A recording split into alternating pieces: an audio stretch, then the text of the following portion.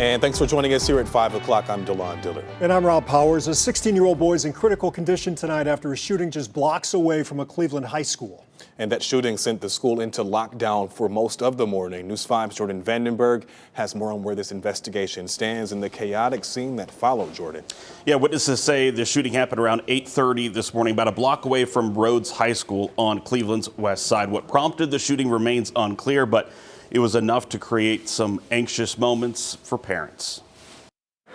Mom, let's go, please! In the rain, they stood, anxiously waiting, Just senseless.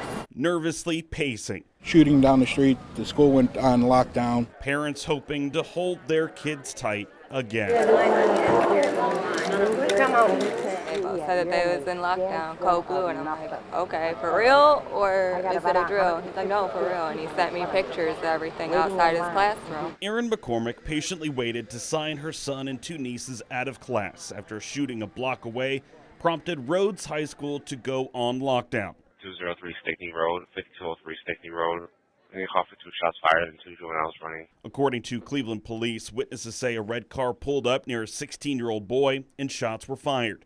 The teen was shot in the head and remains in critical condition. Like we're not going to call that there's a child down in the yard. Police reportedly recovered a weapon near the crime scene. The shooting happened as some students were walking to class. Yeah, I got the book bag.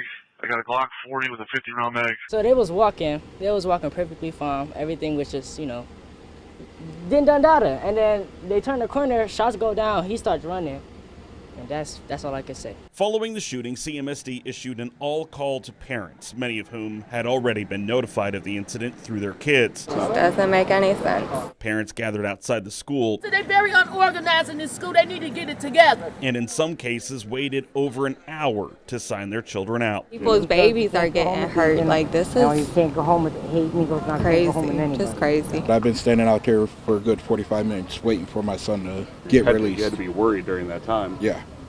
And I've been in contact with him the whole time on cell phone. Standing in the rain, parents prayed to be reunited with their children. And it's not the start to the third week of class that anyone wanted. Something you get used to Something I get used to living in Cleveland. That's sad to say, but it is the truth. It's something you get used to. And we have reached out to CMSD for a statement. We are still waiting to hear back. In the newsroom, Jordan Vandenberg, News 5.